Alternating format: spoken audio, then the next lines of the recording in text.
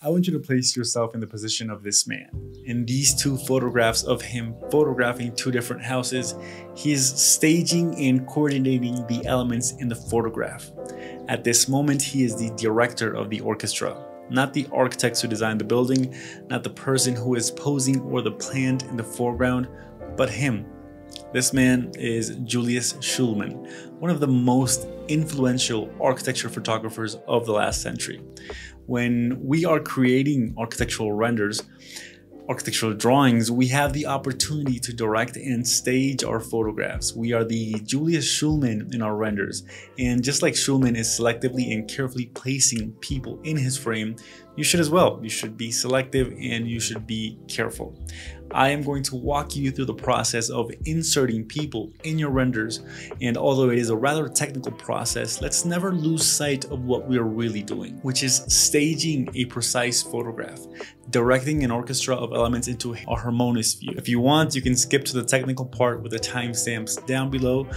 But if you want to understand a bit more the role of people in photographs and renders, then let me show you.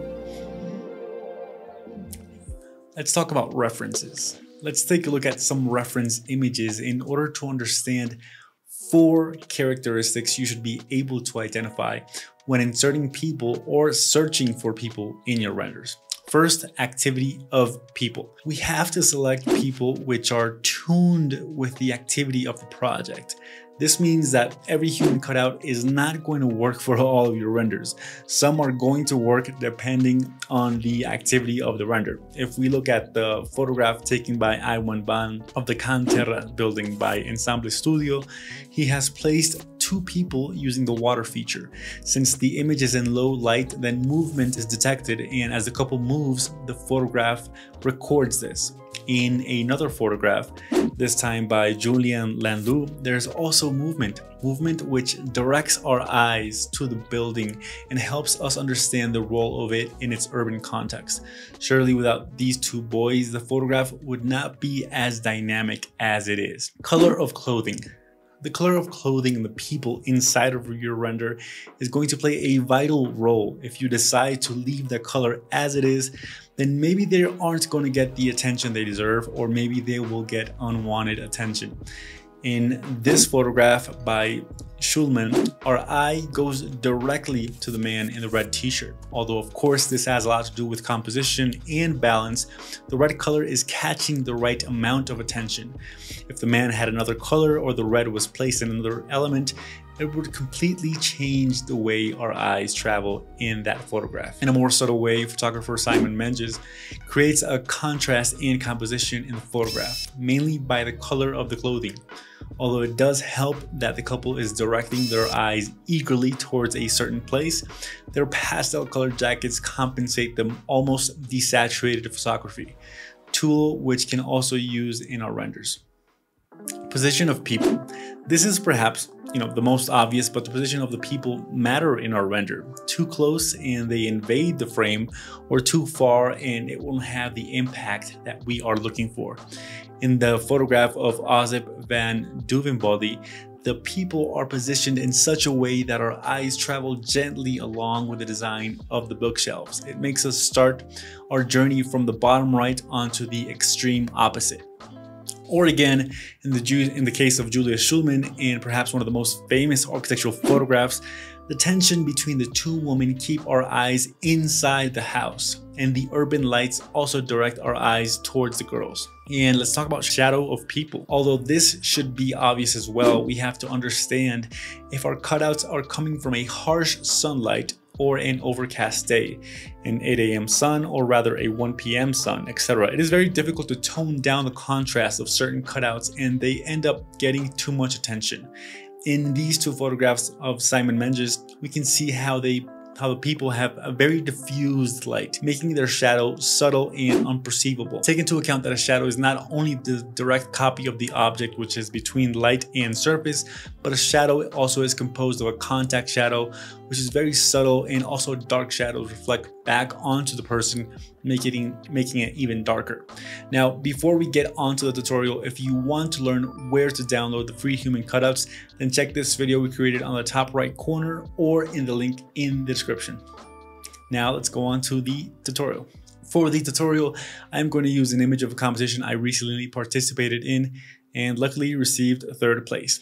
So first inserting person. I'm going to drag in the cutout I downloaded and import it. Since I'm going to stay a while with this person, I want to name him Jack. Jack came on a vacation with his friends to visit the monument. Matt, you should mask out the person if you need to. Since Jack came with two friends, I have decided to kick them out of the party and only pay the modeling gig for him. So I use the mask tool to hide Jack's friends and leave only him visible. And one of the first things we have to make sure is that Jack is in the correct scale. The last thing we want is for Jack to feel left out for being looked at too much for being a giant or a tiny person. If you have some references, you can scale your cutout from them or use one point perspective brush to quickly resize him.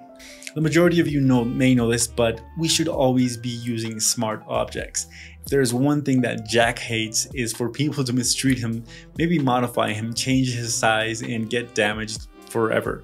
With the smart object option, you are helping Jack and many of his kind to live a healthy and undamaged life. Also remember to make sure he is not only the right size, but also the correct perspective. To make sure of this, we can place Jack's head on the horizon line or aligned with everyone else's. Now let's talk about creating shadows. To create the shadow, we have to understand where the sun is positioned and also where Jack has his shadows. By studying the render, you can see the sun is coming from the left side of the picture and it has some dark contrasting shadows. Now we are going to create a new layer. Hit Control plus click on the thumbnail of the layer Jack is on so the selection of him is made. Since this also selected Jack's old friends, we are going to again kick them out by erasing their selection. With Ctrl T, we are going to distort the shadow and match it with the direction and length of the existing shadows. In some occasions, depending on the height of the sun, shadow will be longer or shorter than the actual length of person. So keep that in mind as well. Jack from the back is very different from Jack from the side. So with a brush tool, we might have to paint some shadows in to complete it. And now that we have our main shadow positioned, we want to convert it into a smart object to make sure we don't damage Jack's shadow. So as you know, the color of a shadow depends more on the context and lighting than anything else. Why did my art teacher in middle school tell me that my shadow had to be painted only with black? Fortunately for Jack, I have learned since then. So you have to create a color fill adjustment layer, apply it to the shadow, and pick the color of the shadow from the surrounding context. Set the shadow to multiplied and adjust the intensity. Now to blur the shadow, we have to go to Gaussian blur and blur a bit of Jack's shadow. This will help it go in tune with the rest of the context. And now to adjust the shadow to the ground, uh, we have to mask out the shadow according to the ground levels and imperfections. No surface is completely flat. So showing these imperfections in the shadow gives it some realism. Now, let's talk about the contact point shadow. For every shadow, there is a contact point shadow, a slight and subtle shadow that places Jack on the ground.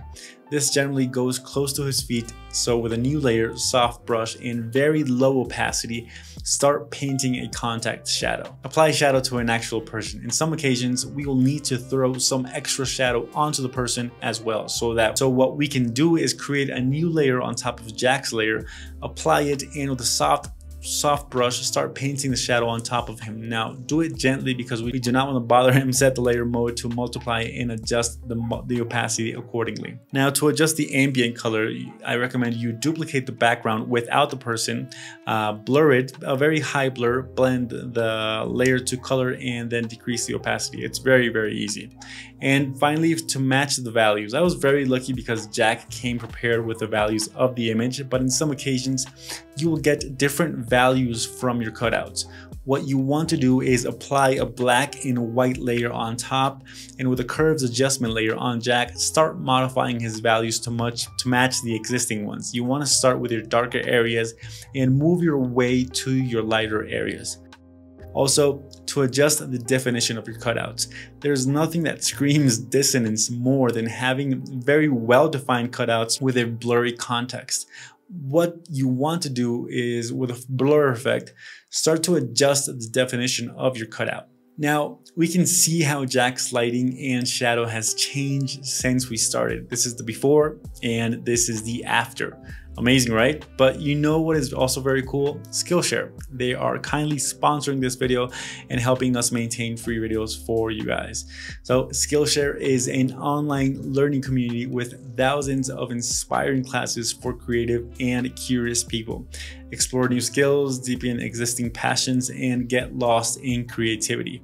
You can learn literally anything in Skillshare from illustration, graphic design, animation all over to productivity hacks and photography. It's curated specifically for learning, meaning that there are no ads and they're always launching new premium classes so you can stay focused and follow wherever your creativity takes you. And one class I fully recommend you look into is the Art of the Story, Creating Visual Narratives by Debbie Millman. Apart from having great podcast, she created the Skillshare class that can open your mind and make you question about finding your story and visualizing it in the best way. The first 1,000 of my subscribers to click the link in the description will get a free trial of premium membership so you can explore your creativity. And well, that was basically it. I hope you guys enjoyed watching this video, enjoyed learning a little bit, a little bit more about uh, placing human cutouts inside of your renders and some rules that we learned here can be applied not only to cutouts, but also to trees, also to different kinds of entourage that you place in your drawings of architecture. So if you like this video, please subscribe and hit the bell notifications.